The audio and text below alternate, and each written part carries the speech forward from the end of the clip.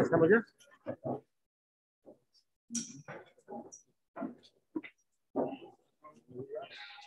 ¿Eh? Estamos.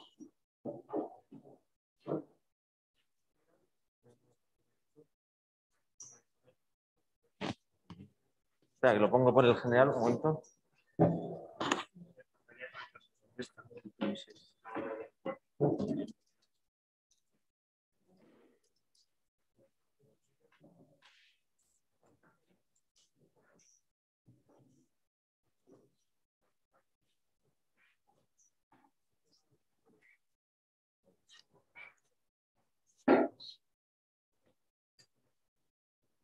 ¿Cuántos?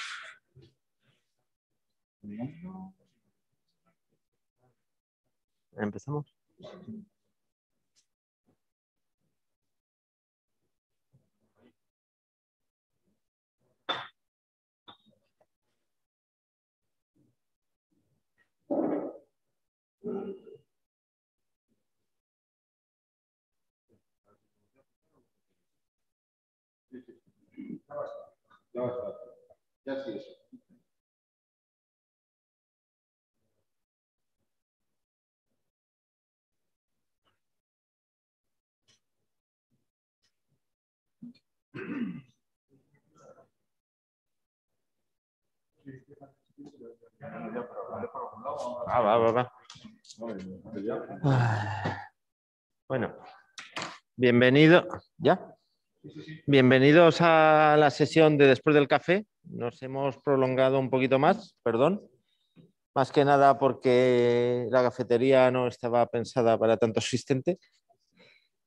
Pero bueno, eh, muchas gracias a todos los presentes por no haberos ido después de tomar el café y la tostada que ha patrocinado Spanish. Espero que los que estáis en casa hayáis disfrutado de este café. Y la siguiente charla, nos la aparte Spanish, aparte de patrocinar los cafés y la comida, pues tiene a bien contarnos siempre cosas importantes de, y las actualizaciones de, de lo que están haciendo en Spanish, que para el, supongo que lo sabéis todos, pero bueno, lo insisto, es el punto neutro por excelencia en España. También está Candix. Spanish es más... Candix también es muy importante, todo hay que decirlo. Eh, Spanish es más antiguo, tiene más solera, tiene una historia a veces un poco truculenta, pero vamos, no creo que lo que nos vaya a contar. Javier nos va a contar más temas de actualizaciones técnicas que ha habido desde la última presentación y que creo que son importantes, porque todos los puntos neutros tuvieron que adaptarse con la pandemia y, ellos, según me estado contando, también. Pues nada, te paso la, la palabra. Pues, ¿me lo puedo pinchar o no, o no, no funciona suficientemente bien? ¿Se me oye? Bueno, pues sí, un poco la parte técnica y la parte no técnica, ¿no? Porque al final el problema o la cuestión fundamental de los puntos neutros es que eh, interactuamos con todos los actores en el, mundo de Internet, en nuestro caso, pues unos 150, que, bueno, pues cada uno tiene su parte y ha sufrido más o menos vicisitudes a lo largo de estos tiempos. Entonces, un poco cómo, han, cómo hemos reaccionado todos a, a las distintas circunstancias, eh, en nuestro caso particular, pero también en el caso del entorno. ¿no? Bueno, ¿qué ha pasado con la pandemia? Pues con la pandemia básicamente lo fundamental que ha pasado es que los, los modelos de tráfico han cambiado. Ya no es solo el volumen, sino también los modelos. Tres puntos claves. El teletrabajo, eh, pues todo el mundo se ha ido a casa, lo que quiere decir que las arquitecturas corporativas de las redes corporativas que estaban pensadas para conectar las oficinas y los centros de trabajo, pues han dejado de funcionar. Eh, los servicios de redes privadas virtuales que normalmente tenían los operadores, pues no han, dejado de tener sentido y ha pasado todo el mundo a, eh, a, acceder a los recursos corporativos a través de Internet, suponiendo pues, un cambio fundamental en los modelos de tráfico de, esas eh, empresas que han tenido que redimensionar eh, sus infraestructuras. No voy a entrar en eso, pero bueno, ha sido unas ciertas locuras entre montar sistemas de acceso remoto, firewalls, VPNs, VDIs, en fin, toda la panoplia tecnológica que se puede usar para remotizar conexiones, pues se ha desplegado eh, de las formas más organizadas y caóticas, ambas, que os podéis, que os podéis imaginar. Eh, eso a nosotros directamente no nos ha afectado, pero sí ha afectado a que los patrones de tráfico han cambiado completamente. Entonces, por ejemplo, el que tenía contratada la red privada virtual, la telefónica, ha descubierto que su red privada virtual se ha, vaciado y le empezaban a ir tráfico de todos los operadores en, función de dónde sus eh, trabajadores estaban conectados o qué conexiones tenían eh, conectadas, lo cual ha supuesto una cierta crisis con todas las interconexiones de, los, de, los, de las grandes empresas, eh, cambiando este modelo de tráfico residencial. La teleenseñanza es una variante del teletrabajo, también eh, en ese estilo, en el sentido de que los estudiantes pues, han pasado a estar en sus casas en vez de estar en los centros de estudio, vienen enseñanzas superiores, medias, a todos los niveles, suponiendo un cambio también en los patrones de tráfico y además un desarrollo de las herramientas de colaboración, el Zoom, el Teams, en fin, todas las, todas las que ya conocéis, que han supuesto un considerable aumento de tráfico por un lado pero por otro lado también un cambio, un cambio de patrones. Si haces, eh, digamos, por ejemplo, conferencias por Teams, pues, pues vas apoyado en, infraestructuras de Microsoft, ¿no? Entonces, cada uno de esos patrones pues, ha provocado otro movimiento de tráfico y además horarios. En el sentido que, bueno, pues antes la gente iba a su centro de trabajo y salía de su centro de trabajo, iba a su facultad o, a su instituto y salía de su instituto.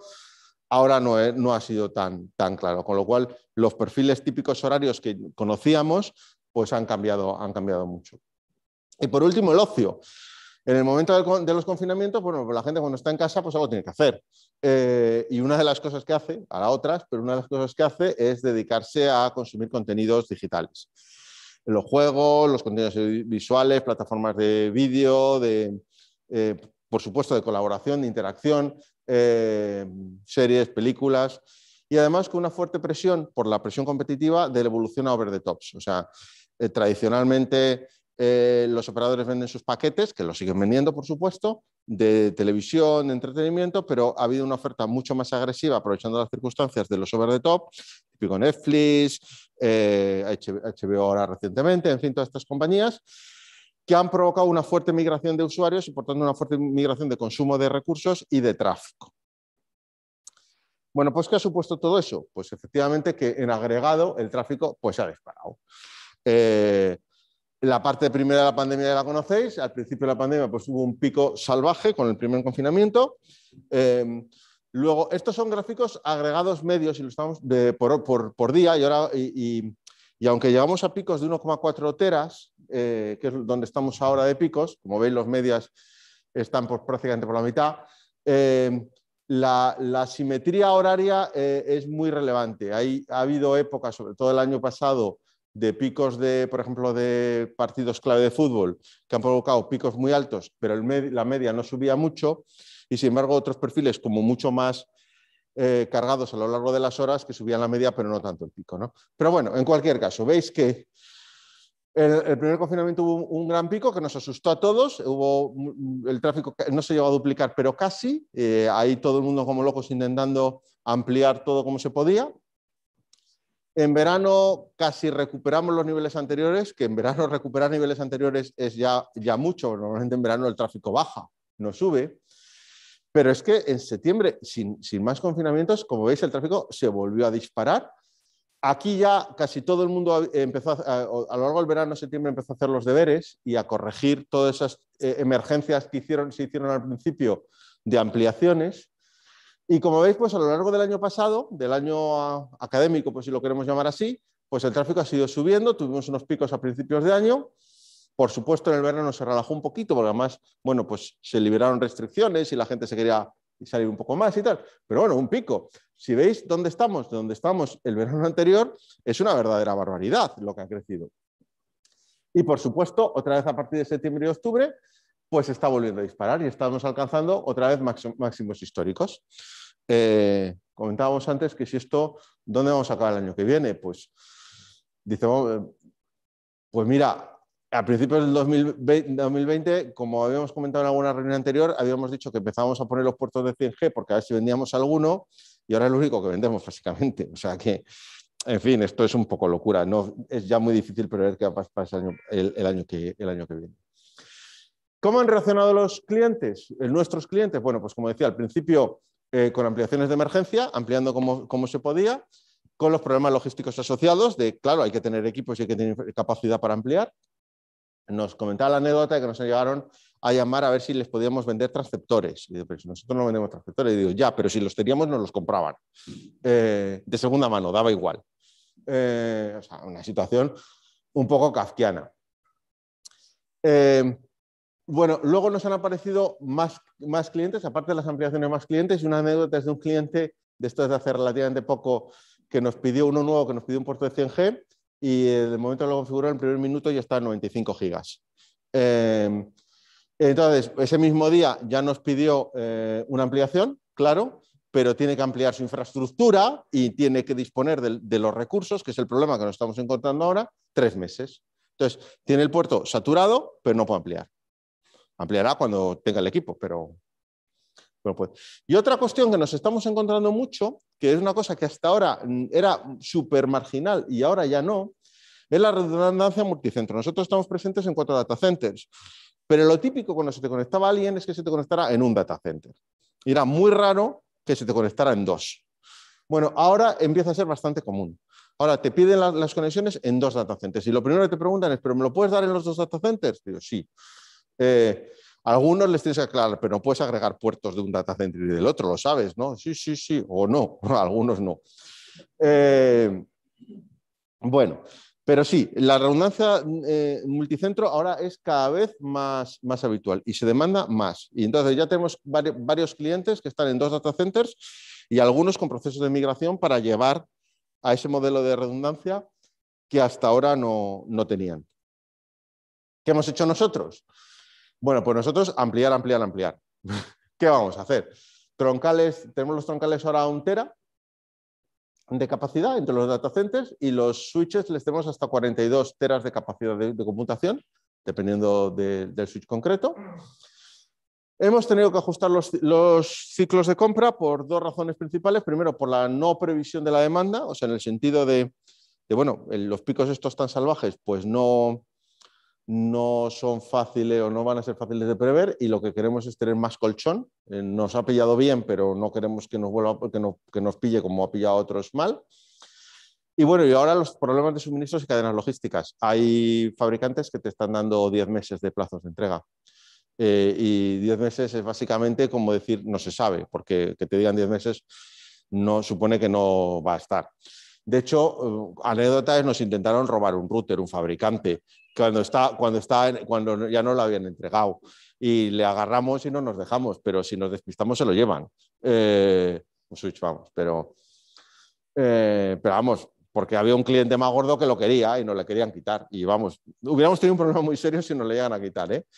Eh, pero efectivamente, en algunos hay problemas de solución a corto. El, que, el ejemplo que contaba antes del de, del de los 100 gigas, que, resultó que, necesita más y tiene tres meses de espera. Bueno, pues eso nos pasa con unos cuantos. Tenemos otro cliente que ha pedido duplicación de capacidad también y que también otros dos meses porque no tiene capacidad troncal para llevarlo. En fin, esos problemas nos los estamos encontrando mucho. Bueno, ¿qué tenemos en equipo concreto? Bueno, ¿qué hemos puesto de equipo concreto? En los switches ahora estamos montando placas de 30 a 36 puertos de 100G. El puerto de 100G es el puerto que más se demanda. Ya tenemos clientes con, con 400 en el sentido de 4 por 100G y ya hay alguno que ha, planteado 8 por 100 de, petición de puertos. Eh, y bueno, en la capa de interconexión óptica, pues eh, una capa óptica que nos permite meter hasta 600 gigas por lambda eh, para un poco soportar la capacidad, la capacidad de demanda. eso es la foto de hoy, que eso no quiere decir que esto no sirva para el año que viene. Para el año que viene, bueno, pues para la primera mitad del año que viene queremos introducir los, 400, los 800G eh, para clientes, para conexión de clientes. Ya hay un cliente, por lo menos, que nos ha preguntado que cuándo lo vamos a tener. Cosa que nos, hemos intentado anticipar, pero lo hemos conseguido anticiparnos por menos de una semana, desde que lo decidimos hasta que nos lo preguntaron. O sea que, y de hecho, no habíamos anunciado hasta la primera vez que lo comentamos públicamente el tema de que vamos a ofrecer 800 gigas pero bueno, ya veis que nos lo han preguntado. Ahora que lo anunciemos ya un poco más oficialmente, pues sospechamos que habrá más, más comentarios. Bueno, el 10G le vamos a no retirar porque todavía tenemos hasta clientes de un G, pero le vamos a, digamos, a bajar una segunda capa de conmutación. La conmutación principal la vamos a dejar en 100 y 800 y dejar la que teníamos como secundaria, que hasta ahora era solo de un G, vamos a pasar al 10G también allí. El 10G, em, tenemos todavía gente de un G que sigue pasando a 10, por supuesto, pero en realidad el 10G está en retirada porque eran los superagregados esos que tenemos de hasta 8 puertos de 10G que se pasan a 100, pues que claro, que te liberan puertos masivamente. ¿no? Y bueno, la capa óptica pues la tenemos que evolucionar para soportar los 800. En principio lo que hay en el mercado son interesantes, son N400, aunque bueno, un poco justito. Vamos a ver si, si eso lo podemos, lo podemos mejorar.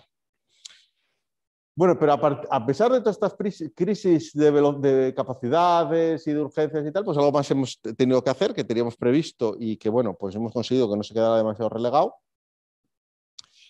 Primero tenemos un plan de despliegue de nodos remotos en otras ciudades, en el sentido de ofrecer eh, accesos a, través de partners, a través de, como ahora ya tenemos modelos de reseller, para, para poder ofrecer acceso, sobre todo en sitios donde la transmisión no, está tan disponible y no está, es tan económica. Hemos hecho una serie de limpieza interna de actualización de sistemas, pues los root servers, el Looking Glass, el DNS, el sistema de listas de correo, los firewalls, toda la herramienta de gestión de fallos y, y una herramienta nueva para la gestión de la infraestructura del data center que hemos estado limpiando. Mucha no es muy visible, la verdad, pero bueno, pues en rendimiento, por ejemplo, los root servers ahora gestionan mucho mejor todo el tema de filtros y de detección de, bogons, de rutas eh, eh, digamos, incorrectamente introducidas, el Looking Glass, que antes tenía algunos defectillos, ya no falla tanto. En fin, eh, el sistema de gestión de listas es mucho más, mucho más moderno, mucho más avanzado. Y bueno, por la parte interna, pues, pues evidentemente no se ve tanto, pero nos ha venido muy bien. Porque otra cosa que hemos hecho muy grande que no está todavía fina y no la voy a contar mucho, solo la voy a anticipar, pero por la próxima vez la contaremos en más detalle, es el, data center. Sabes que dentro de Spanish, aparte de un punto neutro, tenemos un data center, que es el antiguo de Banesto. Bueno, Banesto Santander, que ha ido cambiando de manos y ahora es nuestras manos. Entonces, bueno, se ha hecho una remodelación completa, tanto el data center por nuestra parte como el entorno, que se lo quedó Acciona y lo ha estado haciendo un lavado de cara. No ha terminado todavía las obras, de hecho, dicen y juran que va a estar el 31 de diciembre y vas allí y no, no vamos ni de coña, va a estar eso el 31 de diciembre, pero si le preguntáis a cualquier acción, os por supuesto que lo va a jurar eh, hasta el 31 de diciembre, lo va a jurar. Eh, el 1 de enero no sé si le colgarán a alguien, pero bueno. Eh, y, con ellos y al lado de ellos hemos estado haciendo una serie de remodelaciones. Primero, hemos montado toda una infraestructura de monitorización de lo que es la infraestructura, eh, digamos, más de lo que se llama infraestructura en un data center, o sea, la refrigeración, la energía, los sistemas de extinción, la distribución de energía en los, en, los, en, los clientes. Ahora tenemos monitorizado todos los parámetros y podemos detectar pues, fallos de cualquiera de los elementos, aunque no afecten al servicio, pero por lo menos sabemos lo que está pasando. Eh, hemos hecho una auditoría y un plan de eficiencia de la circulación del aire del, data center, de forma que, los flujos de aire que antes eran un poco, por decirlo de una forma, pedestres en el sentido del frío en un lado, eh, las máquinas en el otro y ya funcionaría eso, pues bueno, que hay unos flujos más eh, controlados y, canalizados. También con la distribución de energía se ha hecho una auditoría, se han corregido problemas que se han detectado, se ha actualizado el sistema, se ha incluido todos los mecanismos de monitorización y buscando algunas ineficiencias que había y se ha, estado corrigiendo, eh, desde la parte de generación, los rectificadores, las UPS, hasta toda la parte de distribución de los cuadros. En las, esto es de una parte como muy técnica, eh, ya la, la, última parte que es más estética es la remodelación de los espacios eh, bueno, por la, existencia de el data center antes, en los que los conozcáis, tenía con muchos recovecos y muchos cuartitos que eran completamente ineficientes, pero bueno, que arrastraban una historia. Bueno, todo eso se ha desmantelado eh, y se ha unificado y se está haciendo unas salas bien hechas, eh, aprovechando los espacios y unificando las salas que no estaban. Pues había uno que un rack estaba en diagonal, el otro estaba torcido, el otro no sé qué. Bueno, pues estaba poniendo todo un poco más uniforme eh, se han remodelado los suelos, que algunos están un poco ya viejecitos, por unos nuevos, eh, racks y, techos, con toda la, circulación de aire, la extinción y la iluminación, que claro, al cambiar los techos, pues hay que, hay que actualizarla. Entonces, de eso no he traído fotos porque todavía si las saco veríais todas las obras, lo cual está un poco indecente. Para la próxima las traemos, traemos un reportaje de, cómo ha quedado y los cambios en detalle para que se vea bonito, pero ya en bonito. Em, bueno, también ha cambiado todo el tema de accesos, esto ya lo ha cambiado más, eh, Acciona también en colaboración con, también con nosotros para el control de accesos. Eh, ahora tenemos un sistema un poco más lógico de, acreditación, de entrada, eh, incluso un muelle de carga un poco más organizado de lo que teníamos antes. con lo cual coordinamos lo que es el acceso al edificio nuestro con lo que es el acceso al campus con los que venir con un camión o con tal para, para cargar. Y toda la seguridad tanto de, lo que es el acceso al data center como la seguridad exterior del, campus. ¿no? Con lo cual, bueno, pues va a quedar muy bonito, eh, pero eso, para la próxima pues haremos el, reportaje completo. Y por mi parte nada más, eh, dudas, preguntas, cuestiones. Espero que se me haya oído en remoto. Ah. vale. Nadie dice nada. Todo el mundo le parece. Pueden abrir y pueden activarlo directamente. Ya, ya, pero no, pero no lo hacen. Eh, ¿Local? ¿Alguien quiere ¿No? Gracias.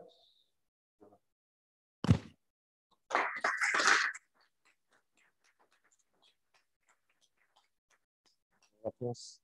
Ten cuidado, el calambrazo.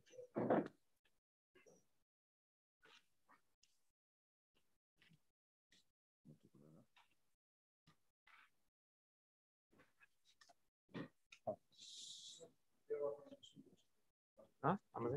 ah, pues vale.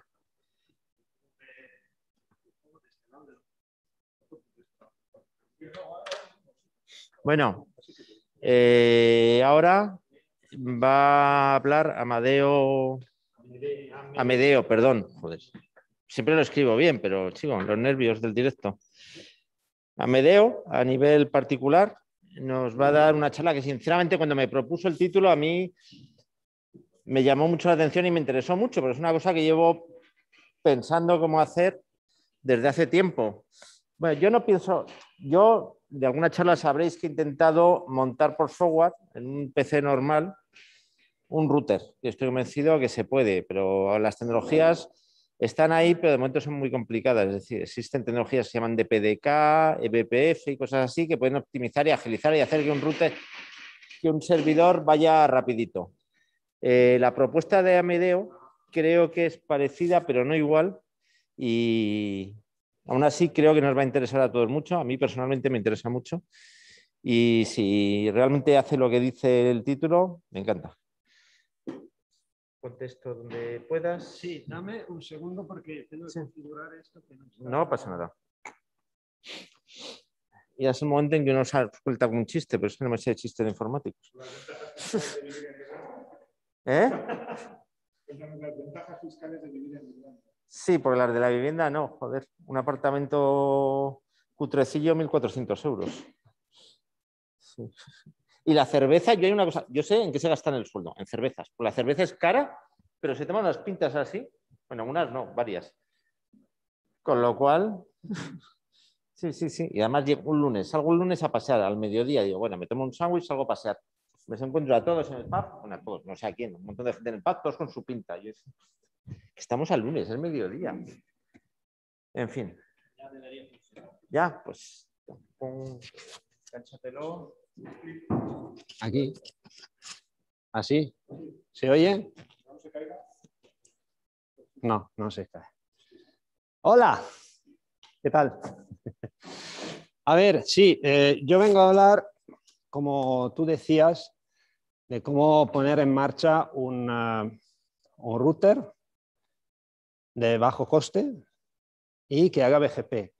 Hacer BGP significa hacer eBGP, es decir, BGP con la Full Routing Table. Em, y vamos a ver cómo, cómo se puede hacer. La idea empieza, bueno, antes de lanzarme a esto, yo tengo dos presentaciones, como se ve ahí. Una es mi presentación de hoy y la otra es el calendario Pirelli 2020. Entonces, os hago la pregunta, también pueden contestar los que están en remoto. ¿Qué preferís ver? ¿La presentación sobre BGP o el, o el calendario Pirelli 2022?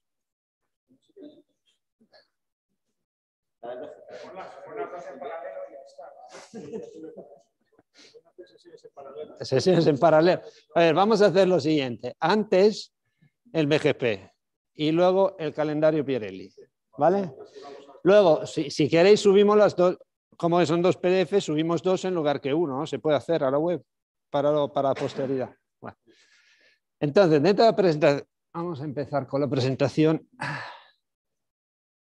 BGP.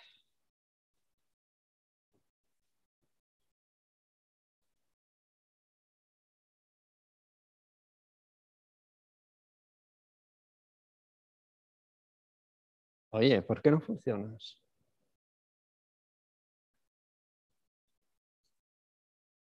Vale. Vale. Entonces, para empezar de revés, empezamos con esta, que es la última diapositiva de mi presentación. ¿Por qué empezamos por la última? Porque así sabemos a dónde queremos ir. Esto es un ejemplo no solo teórico, es un ejemplo muy práctico.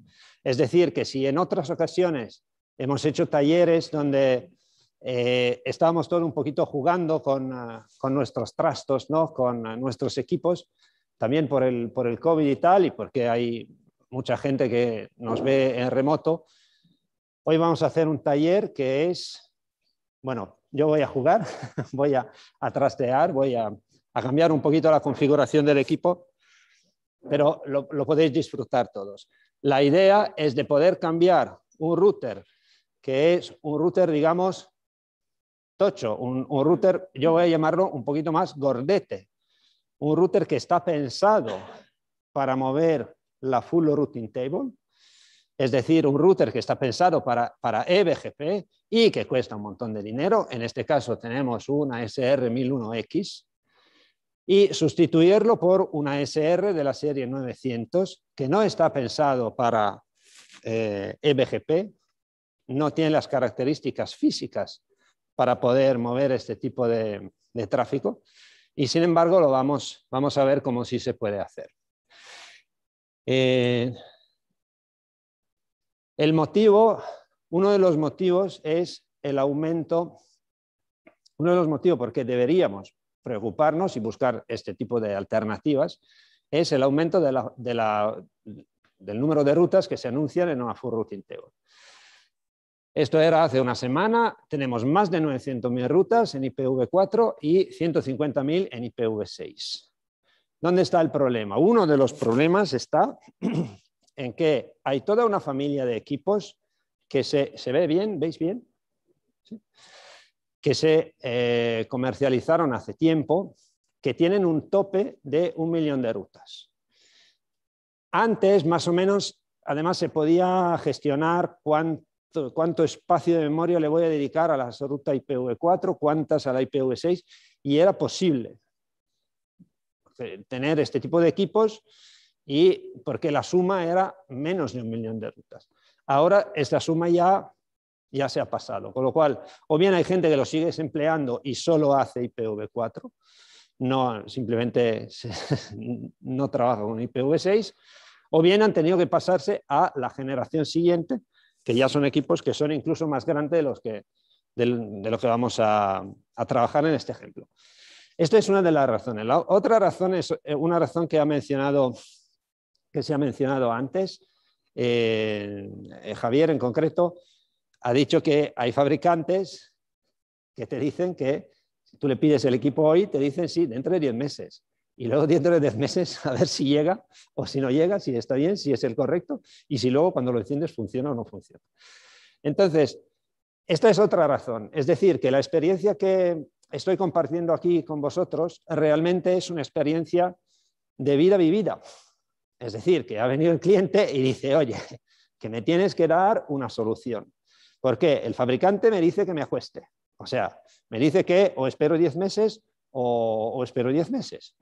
Si yo voy a buscar alternativas y voy a buscar incluso en el mercado en el que nos movemos nosotros, como en el reacondicionado, los equipos de antes, los que hacen que tienen la capacidad para hacer eBGP y mover la full routing table, ya no se encuentran. No es una cuestión de precio, es una cuestión de que hay cero piezas. De vez en cuando llega una y, en el mismo día desaparece. Entonces hay que buscar alternativas sí o sí. Entonces esto es lo que hemos hecho. Aparte de las rutas. Entonces, ¿cuál es el hardware para mover la full routing table? Pues es un, un hardware, como he dicho antes, gordo. Es decir, que tengo que ir mentalizado en gastar mucho dinero. Eh, son equipos específicos, sirven especialmente para, para EBGP, tienen un montón de, memoria, de capacidades. En ocasiones, dependiendo un poquito también del fabricante, hay que incluso adquirir licencias, con lo cual hay que meterle de verdad mucha, mucho dinero. Aquí yo hago algunos ejemplos. Es que no puedo estar delante. Dentro en el fabricante Cisco sería ASR 1000 los tochos o bien ASR 9900 que es la serie más actual. Juniper MX de los grandes, no de los pequeños, o bien la serie, la serie PTX que es más, son los más grandes de todos. Entonces, vamos a ver ahora cómo funciona para buscar la forma de hacer el cambiazo. Yo voy a hacer un pequeño repaso de, de cómo funciona dentro de un router el BGP. Pido disculpas de antemano porque yo sé que la mayoría de vosotros entendéis de BGP más que un pobre desgraciado como yo. Pero bueno, vamos a repasarlo igualmente. Si veis que estoy diciendo alguna cosa incorrecta, me podéis corregir, no me voy a ofender. Entonces, arriba, aquí tenemos un caso donde tenemos tres, eh, tres equipos que están conectados entre sí a través de BGP. Entonces, tenemos un eh, control plane que está arriba, donde los procesos BGP hablan entre sí y, se, mueven las rutas. ¿vale? Aquí estamos moviendo antes la ruta, es decir, cada equipo dice, mira, yo tengo esta ruta, ¿cuáles tienes tú? Y entonces se, intercambia la información de la ruta. Cuando esta ruta entra dentro del equipo, ah, hay que moverla en la RIB. La RIB es la tabla de rutamiento, que es donde no llegan todas las rutas del BGP. ¿Por qué no llegan todas? Porque en el, BGP, para cada ruta, si yo tengo distintos eh, vecinos, distintos peers, entonces cada uno me da su versión de los hechos y me dice, mira, conmigo tú puedes llegar a este destino, destino por este recorrido, este a ese path. Y el otro me dice, tú puedes llegar al mismo destino pero con otro recorrido.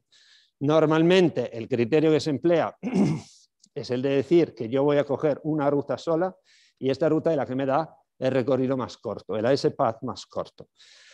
No, no siempre es así, hay miles de excepciones, se puede hacer las cosas de, otra forma, emplear otros criterios, pero esta es la idea de GP funciona mirando lo largo que es el, el.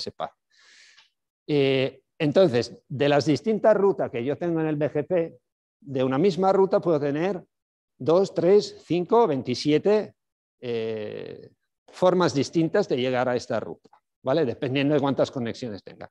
En la RIB solo llega una. Bueno, llega una, si no estoy haciendo multipath puede que lleguen dos o tres, pero normalmente llega una. Con lo cual llegan menos. Esta ruta, esta tabla, la, la tabla de enrutamiento, no es empleada en los routers modernos para mover el tráfico. ¿Por qué? Porque no tendría la capacidad suficiente, eh, no es lo bastante rápida para mover el tráfico. Para mover el tráfico físicamente necesitamos pasarlo a la ruta de forwarding, la FIB. Es decir, que ahí se encargan ya los, los ASICs, el hardware, de mover cada paquete. Es decir, que mientras que tenemos, por ejemplo, el, el, proceso del BGP corre dentro de la cabeza, de la sesera, del route processor, eh, llámalo como quieras, del, router, quien físicamente mueve los paquetes está más pegado a los puertos. Son los ASICs, ¿vale? Son los circuitos integrados que, eh, que van a, que van a mover los paquetes dependiendo de la información que tenga en la RIB. Con lo cual, la misma ruta yo la tengo tres veces. Una en el BGP, múltiples veces, en la RIB normalmente una vez y luego en la FIB también una vez. Entonces, aquí tenemos un ejemplo. Esto está montado en un laboratorio, no es un, caso de, verdad, pero no importa. Tiene información, suficiente información para que podamos ver de qué se trata. En el BGP tenemos una ruta, en este caso la tenemos dos veces. En el laboratorio me llega la ruta dos veces y tengo dos next stop. Es decir, que la siguiente, el siguiente paso puede ser hacia una interfaz o hacia el otro. Cuando esta ruta, esta ruta 33, por ejemplo, eh, llega a la RIB, aquí solo está una vez, porque ya esta es la versión que nosotros, em, que el router va a emplear para mover el tráfico. De hecho, ahí arriba se ve este, este símbolo de mayor, significa que la ruta es la mejor, por lo menos en, este fabricante. Y, de hecho coincide el next stop que tenemos aquí, este 13.3, coincide con el vía que tenemos aquí. Es decir, que esta ruta se la mandamos a este vecino y no al otro. Y por fin tenemos la misma información también en el hardware. Es decir, qué pasa en la FIB. La misma información ya sabemos que tiene que salir por el puerto Ethernet 0.0. ¿vale? Con lo cual pasamos de la teoría mucho más a la, práctica del data plane al forwarding plane. Esto traducido en términos de memoria. Eh, esta ruta, nuestra ruta, tiene que estar almacenada tres veces en tres zonas distintas de la memoria. Cuando es una ruta BGP o unas rutas, plural, BGP, está almacenada en la RAM. Entonces, aquí tenemos el límite. a veces la gente dice, pero vale, ¿cuánta RAM tiene el router? Hombre, tiene que tener una RAM suficiente para que pueda caber toda la routing table. Y además duplicada, porque si yo tengo dos peers, pues es el doble de memoria. Aún así, aunque esta ruta ocupe mucho sitio, ¿por qué ocupa mucho sitio? Porque de cada ruta no es solo la dirección IP y la, máscara. Cada ruta tengo que, conocer nombre, apellido, si tiene tags, de dónde procede, si es válida, si no es válida, si tiene una métrica. Con lo cual, cada ruta acaba ocupando cientos de bytes, puede que mil bytes, un kilobyte. Entonces, si yo tengo 100.000 rutas, perdón, un millón de rutas por un kilobyte, me estoy gastando un gigabyte de RAM. Esto es regla que yo no la he dicho, lo voy a, lo voy a negar, pero vamos, se puede tomar como un ejemplo. Entonces, ¿cuánta memoria tiene que tener mi router? Pues tengo que mirar eh, cuántos peering tengo pensado hacer y, tal. Esto es una estimación que es un error, porque esta cantidad puede ser, normalmente es inferior y puede aumentar si estoy haciendo otras cosas raras, como pueden ser, por ejemplo, MPLS, donde los requerimientos de memoria son, eh, suben. Eh, ¿por, qué, ¿Por qué estamos hablando de esto? Porque cada router tiene su capacidad de memoria. Hay algunos routers donde la, memoria se puede ampliar, se puede aumentar, y hay otros que lamentablemente incluso tienen una capacidad física o simplemente yo ya he llegado al máximo y no puedo ir más allá. Sin embargo, con todo esto dicho, la capacidad de memoria de la tabla BGP casi nunca, no quiero decir nunca, pero casi nunca es un vínculo. ¿Por qué casi nunca? Porque, hombre, tío, porque tenemos todos routers que tienen gigas y gigas de RAM, más o menos. O sea, un, router, quieras que no, si no tiene 4 gigas, ¿a dónde vas? ¿no? Entonces, este no es, el, no es un problema. La tabla de RIB, más o menos más de lo mismo. Aparte que tenemos menos rutas, porque solo tenemos las rutas que vamos efectivamente a trabajar para mover los paquetes, en la tabla de RIB ocupa menos espacio porque en la tabla de RIB yo tengo que disponer solo de la ruta, es decir, de una dirección, con su netmask o con su prefix length si, es IPv6, y luego el puerto de salida. Eh, entonces ocupa menos memoria. Vamos a decir que ocupa 10 bytes o decenas de bytes, para cada ruta. Una vez más, si yo tengo un router con 4 GB de RAM y una full routing table donde cada ruta me ocupa 10 bytes, o 20 que sean, quiero decir que tampoco pasa nada, es decir, que yo necesito de 10 megabytes en una memoria de 4 gigas. Este no es un problema, no supone un problema. ¿Dónde está el problema? El problema está en la tabla de feed. ¿Por qué está ahí? Porque la tabla de feed vive en una memoria, ahí ya depende un poquito del fabricante, de cómo funciona, Cisco lo hace de una forma, eh, Juniper de otra, otro fabricante puede que de otra más. Lo de, lo que hay que hablar aquí es de la TICAM. La TICAM es un tipo de memoria que es distinta de la memoria RAM. TICAM significa Ternary Content Addressable Memory. Eh, la memoria RAM normal, tú tienes un controlador. Cuando quieres acceder a una dirección de memoria, le dices cuál es la dirección y el controlador de memoria te devuelve el contenido de esta dirección de memoria. Si quieres escribir, le dices la dirección y el contenido y el controlador la escribe. Sencillo. La TICAM es un poquito la evolución. ¿Por qué se ha inventado esta evolución? La TICAM es un invento de Cisco, eh, es una patente incluso de Cisco, la emplean otro fabricante, como puede ser Cisco, pero de forma, como puede ser Juniper, de forma distinta, justamente porque no pueden hacerlo exactamente igual a, Cisco. Si os interesa, CEF, que es el, sistema que emplea Cisco para, para mover los paquetes, hace dos lookups, dos búsquedas en la TICAM para cada paquete, uno para capa 3 y otro para capa 2. Eh, PFE, que es el sistema que emplea Juniper, solo lo hace una vez porque no puede hacer la segunda por temas de, em, de patente. Pero da igual, emplean otro sistema, una case que va más o menos igual de rápida. Entonces no hay diferencia de prestación. La idea es que cada puerto pueda mover los paquetes a line rate, es decir, a la máxima velocidad, independientemente del tráfico que esté en este momento en el, router, en otros puertos del router. Entonces, por un lado, se hace a través de un fabric que conecta cada puerto con cada otro puerto, pero no es suficiente. Es que cada puerto tiene que saber, el ASIC que está conectado a cada puerto, tiene que saber hacia qué otro puerto mandar cada paquete. Y eso se lo dice la TICAM.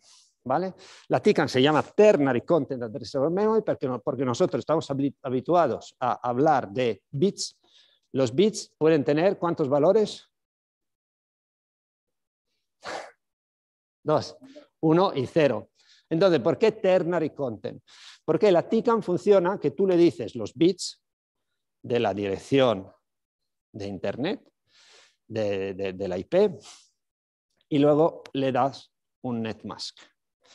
El netmask tiene un bit que también es 0,1. Si es 1 significa que el bit de la, de la dirección tiene que ser este. Pero si es 0 significa que no me importa cuál es el bit de la dirección. Entonces tenemos tres casos posibles. O el bit es 1 o el bit es 0 en la dirección o el bit no me importa. ¿Vale? Eso por, de ahí el nombre ternary. Entonces, ¿qué es lo que le doy yo a una TICAM? A una TICAM yo le doy una dirección y una máscara. O bien una dirección y un prefix len si es IPv6, es exactamente lo mismo, la TICAM funciona eh, de, la, de, la, misma forma. En cada bit decide si este bit tiene que ser 1, tiene que ser 0 o no le importa. Y luego como respuesta te dice, esta, eh, esta ruta tiene que salir por el puerto X. ¿vale?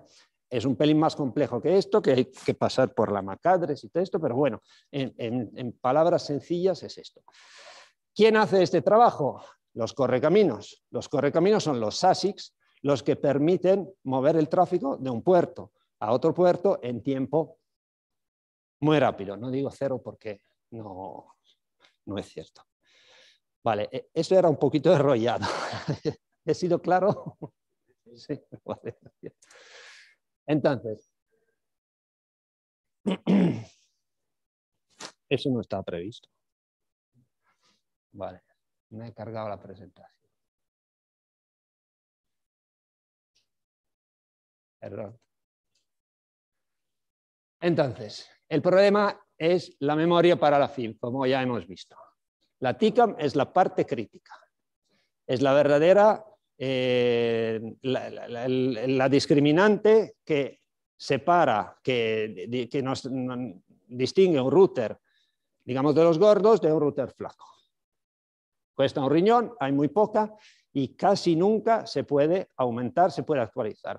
aunque en los routers te, dan la opción, mira, si quieres puedes comprarle más RAM, más memoria, más lo que sea, normalmente la TICAM, justamente porque está, eh, está soldada en la, en la placa, está conectada a los ASICs, no es algo que se puede aumentar. Entonces, eso significa que tu router, si ha nacido para hacer, para hacer IBGP hace IBGP y no puede hacer EBGP, no puede aguantar la full routing table. Exactamente, esto lo que está diciendo. En ocasiones la, la posibilidad de hacer IBGP, ahora vamos a explorar cuáles son los hardware que permiten hacer IBGP y a ver si podemos hacerle violencia de alguna forma para, que, para meterle la, EBGP, para meterle la full routing table. Esta posibilidad también de hacer IBGP se presenta en algunos switches. Ahí hay que mirarlo muy, muy, muy con cuidado porque la memoria, en este caso, la memoria RAM de los switches para aguantar una full routing table puede que no sea suficiente. Entonces, por eso el ejercicio también lo hacemos con, un router. Eh, en este caso estaríamos hablando en los Cisco de los ARs 900 o bien en los ARs 1000, pero versión los más ligeritos. O en Juniper, en la familia MX, los, más pequeños.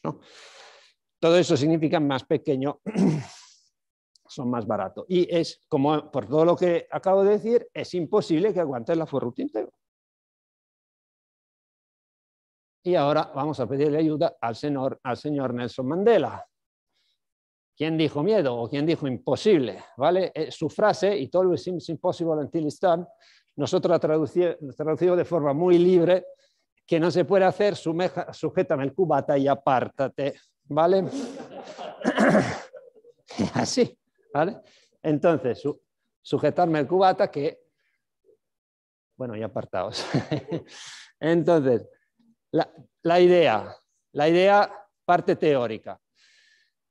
El tema está que en muchos casos no, en todos, pero hay casos, hay circunstancias donde yo no necesito mover el tráfico a partir de la información que tengo de la BGP. Es decir, que no es necesario, traducido con todo lo que hemos visto antes, no es necesario que la información de la ruta, que sí se mueve de forma horizontal arriba, os, acordáis ¿no? de, la, de la anterior diapositiva, se mueve entre los procesos BGP, no es necesario enviarla hacia abajo a la RIB y tampoco a la FIB. El único, eh, la única cosa de la que nos, tenemos que ocupar es añadir una, ruta por defecto para que el tráfico sí se pueda mover. Entonces, los casos de uso lo vamos a, ver después, pero mayormente podría ser un router que sí hace full BGP un router de, frontera, un PE, un Provider Edge, por ejemplo, al que solo se conectan clientes. Con lo cual, si yo tengo que conectar clientes y darle la full BGP, si por razones de lo que sea no me compensa o no quiero conectarlos a mi router de core, el router principal de BGP, los puedo agrupar en un routerito más chiquitito. Y esa es la idea la parte teórica. En la parte práctica, ¿qué es lo que vamos a hacer? Pues lo que acabo de decir, eh, en la parte de arriba, los, procesos BGP siguen moviendo la full routing table, pero vamos a cortar la, propagación de la full routing table para que no llegue, no tanto que no llegue a la FIB. Esto es casi irrelevante. Lo que nos importa es que no llegue a la RIB, perdón. Lo que nos importa es que no llegue a la FIB. ¿Por qué? Porque la FIB no da eh, no da para tanta ruta. ¿no? El cliente sigue anunciando su ruta, el tráfico que llega a nuestro router PE eh, se sigue moviendo hacia el core porque hemos añadido la ruta por defecto, con lo cual este, este, este router PE, que es en el que vamos a trabajar, recibe eh, todos los anuncios BGP desde su core recibe los anuncios BGP del cliente, pero solo se queda con los anuncios BGP del cliente. ¿vale? Y esto los propaga abajo hacia la FIB. Todo lo demás no le interesa. ¿Por qué? Porque ya sabe dónde están. Están en su core y se soluciona el problema con una ruta por defecto. ¿Vale? Entonces, aquí vamos a ensuciarnos las manos. En concreto lo voy a hacer yo. Voy a ensuciarme las mías, me tengo que sentar. Y vamos a hacer lo siguiente. Aquí tenemos un pequeño lab montado donde tenemos tres routers y vamos a trabajar en este aquí del medio, el router 2, que es nuestro PE, y que en este, en este laboratorio, en esta simulación, es una SR1001X y lo vamos a convertir en una SR900, mucho más, mucho más barato. ¿Vale? Eh, aquí tenemos la, la configuración que hemos visto antes, es decir, que este router está hablando con su core digamos, a mano izquierda y está hablando con el cliente, con BGP, con el cliente a mano derecha. ¿Vale? Entonces aquí lo vamos a mover. ¿Dónde estás? Ese. Vale, ¿se ve bien? ¿Sí? Vale, yo tengo, tengo que ver la pantalla porque aquí no, no aparece. Entonces, aquí tenemos a mano izquierda el router 1, al centro el router 2, que en el que vamos a trabajar, y a la derecha el router 3. Vamos a hacer un antes y un después, es decir, que vamos a ver cómo, están, cómo está la, routing table. En concreto, vamos a ver la RIB de router 2. Esto es un, un Cisco. Mierda. A ver.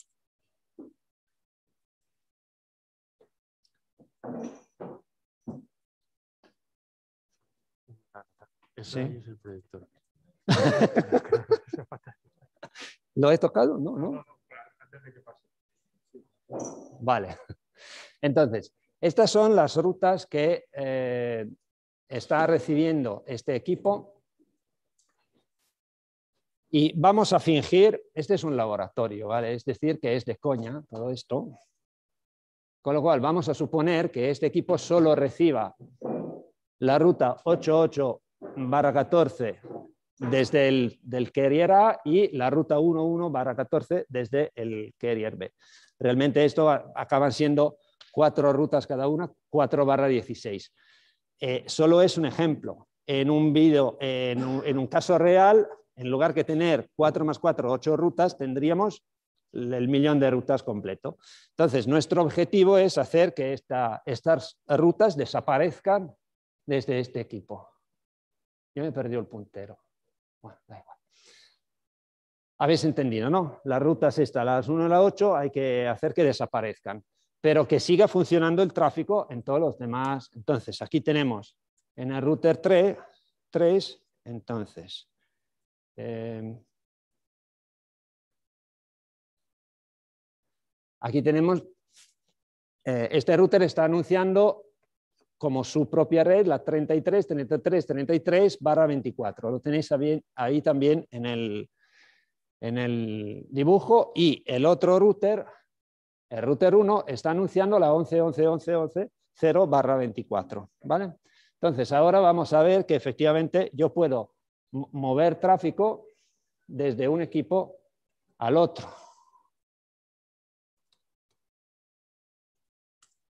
¿Vale? Entonces, efectivamente, se está moviendo el tráfico entre los dos routers en este momento. ¿Por qué?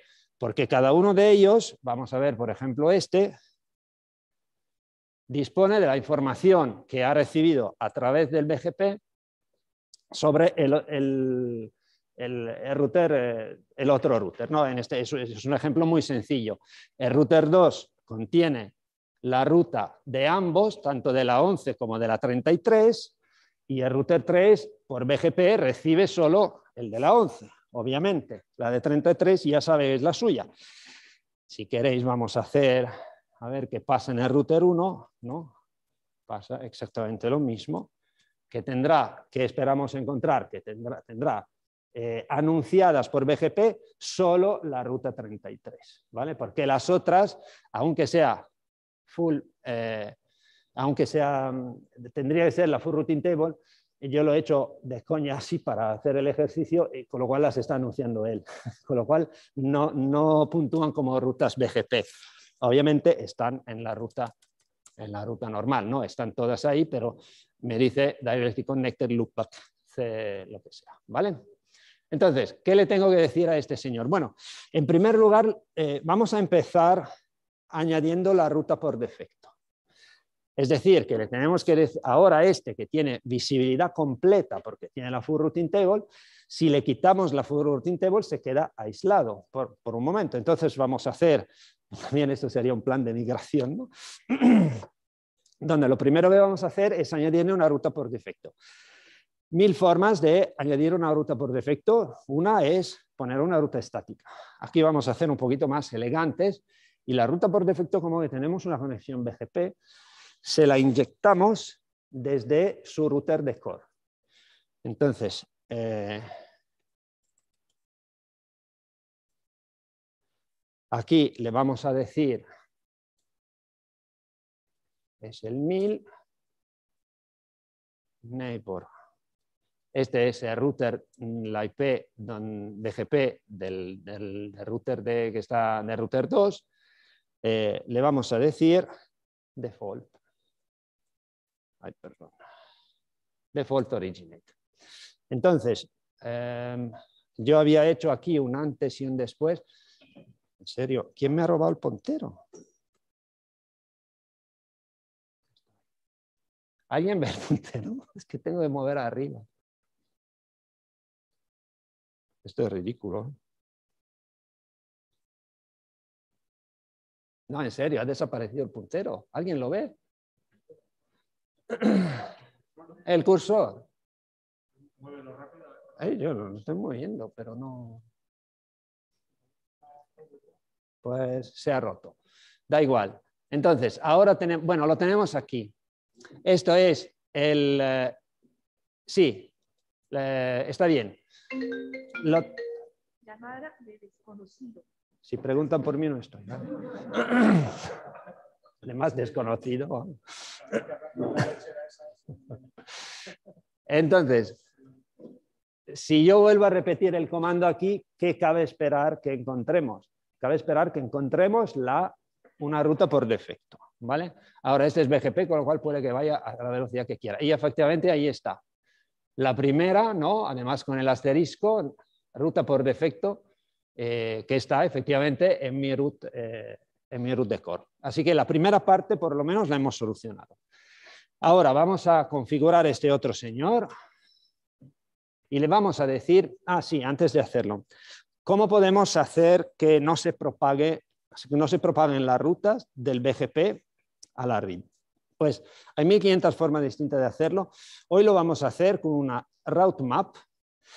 Esta route map tiene que contener dos ingredientes. El primer ingrediente es un ingrediente que nos permite pasar, le permite pasar a la ruta por defecto. ¿Vale? ¿Os recordáis el, dibujo de antes? Bueno, lo tenemos aquí detrás realmente. Es decir, que la ruta por defecto, si nosotros vamos a cortar aquí y cortamos todo, estamos cortando demasiado. ¿vale?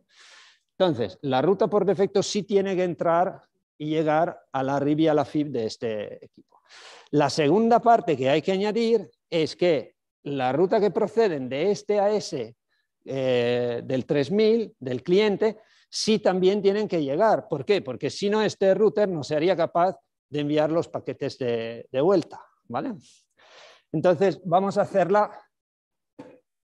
Vamos a hacer las dos cosas. En primer lugar, lo vamos a hacer con el prefix list. Vamos a crear una route map que contenga dos elementos. Uno es una prefix list que nos le permite pasar a la default route. Y el segundo, una, un AS path list, es decir, una lista que va a mirar cuál es tu AS path. Si en el AS path contiene 3000, entonces lo aceptamos. ¿Vale? Entonces, primera parte, IP prefix list, le vamos a dar un nombre, default eh, route. Eh, aquí hay que ponerle la secuencia. Eh, permit la, la la ruta por defecto. ¿Vale? Esto lo tenemos que repetir y le tenemos que decir también que, que tiene que capar todo lo demás. ¿Vale? Y esto, pequeña parte técnica, hay que decirle, esto significa la, segunda, el 20, significa que tienes que capar todos los demás, es decir, la ruta por defecto que sea de 32 bits o menos. Bueno, yo estoy haciendo todo esto para IPv4. La extensión a IPv6, digamos que esta casi yo la dejo como ejercicio para el lector, es decir, que hay que añadir IPv6 aquí, allá y poco más. ¿vale? Así que la primera parte, el primer ingrediente de roadmap está hecho. Ahora tenemos que hacer el AS, el, AS, el AS Path. Em, aquí las palabras mágicas, hace list. Eh, con esto le estamos diciendo que yo creo, quiero crear un elemento que me permite aceptar todas las rutas que contengan 3000 dentro del, del AECPAD que, que me llega desde el cliente. Luego tengo que hacer la, la route map, ¿vale? Entonces, la route map le vamos a dar, eh, vamos a dar un nombre, por ejemplo, BGP to RIP, ¿no? Eh, y tiene que dejar pasar.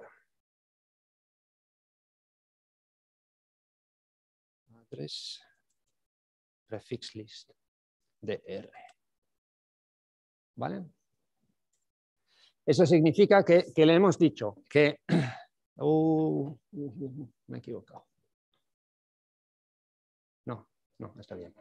Vale, esto le está diciendo que cuando decida cuáles son las rutas que, tienen que filtrar a la parte de abajo, es decir, hacia la RIB, eh, tiene que dejar pasar la default route. Es decir, que tiene que aplicar la primera regla con eh, el prefix list.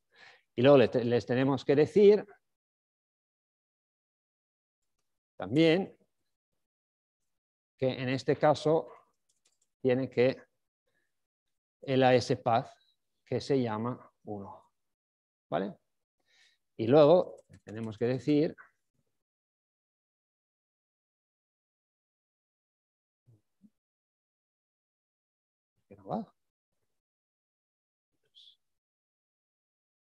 Dios, que estoy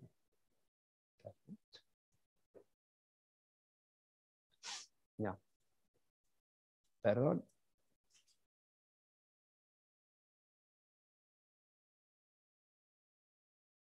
Mm. Vaya.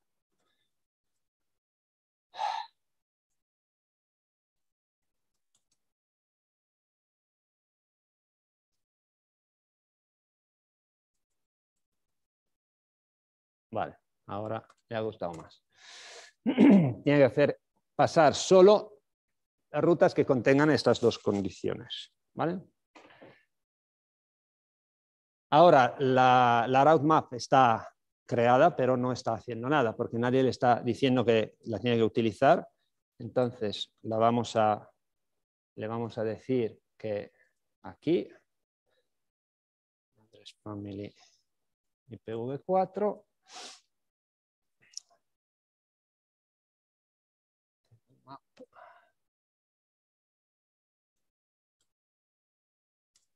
Vale. Ahora, esto ya en, teoría ya está.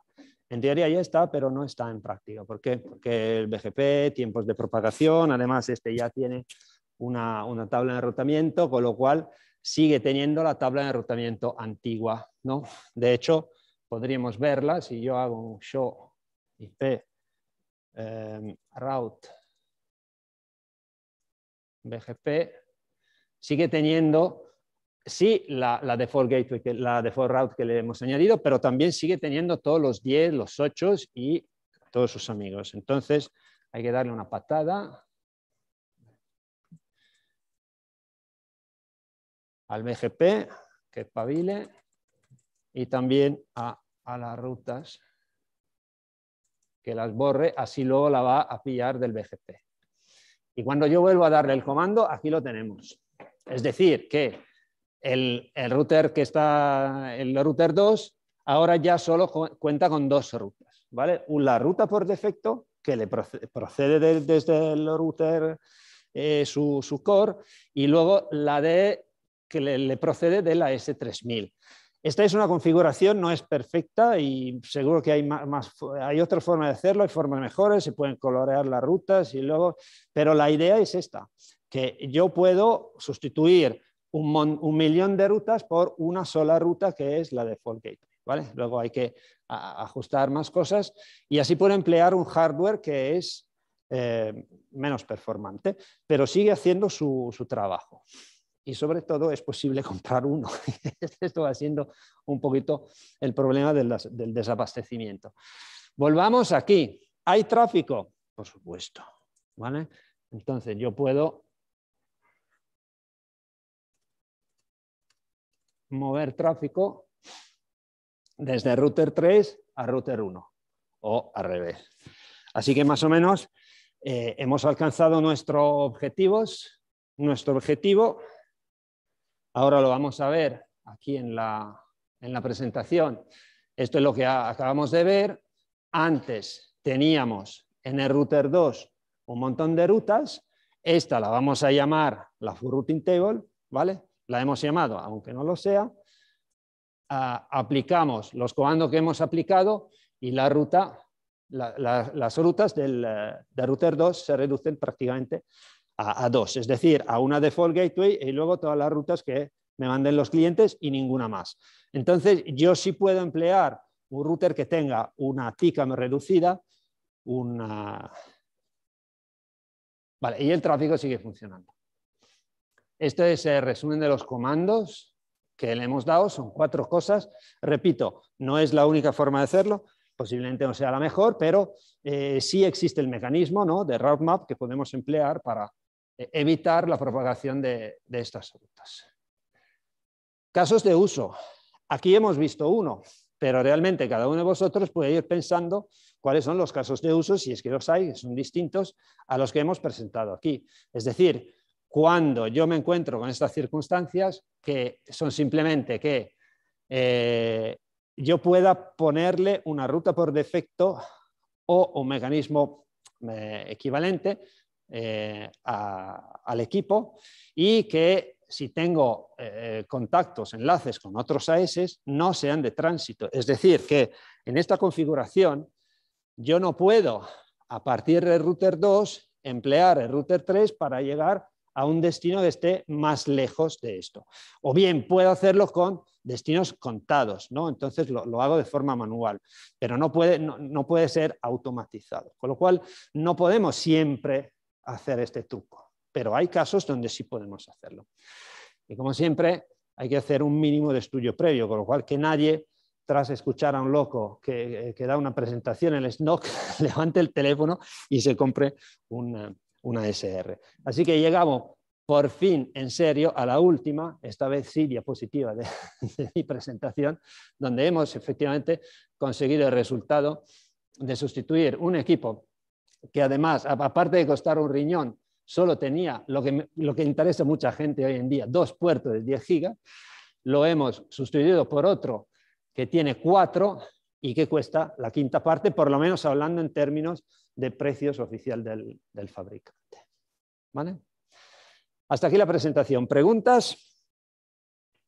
Yo creo que era bastante ¿no? claro y sencillo. Muchas gracias.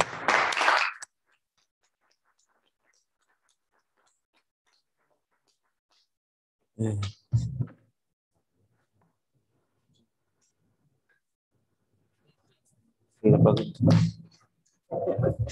momentito.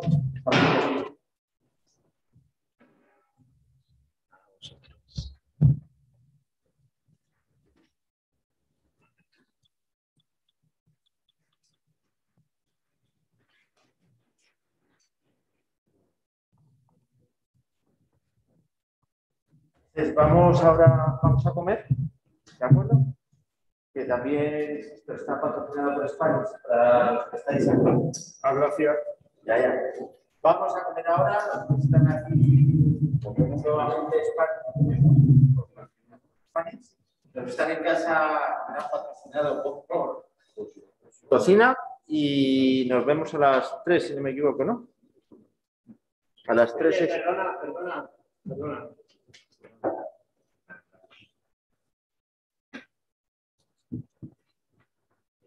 Verdad, no puedo hacer las cosas. ¿Ya se el curso? El calendario bien.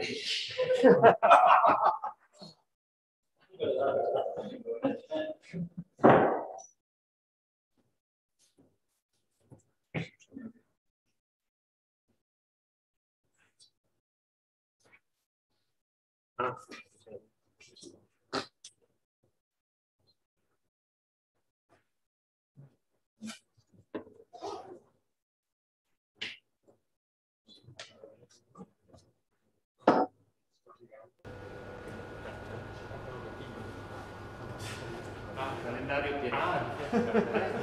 Aquí lo tenéis, yo se lo voy a pasar a Juanpe para que lo suba, está todo el año, lo- los días son correctos, ¿vale?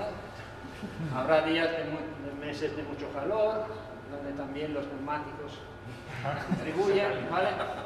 Hay creatividad, hay artístico, hay usos alternativos del plástico, esto que creéis que no, pero todo con, con neumáticos y obviamente patrocinados por. Muy bien.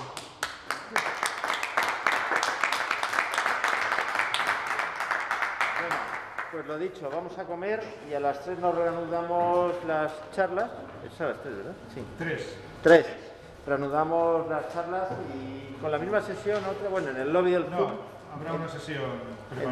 Entráis en el Zoom y allí en el lobby, los que lo estéis viendo por YouTube, pues postearemos en el canal general de, de Slack el enlace al YouTube. ¿De acuerdo?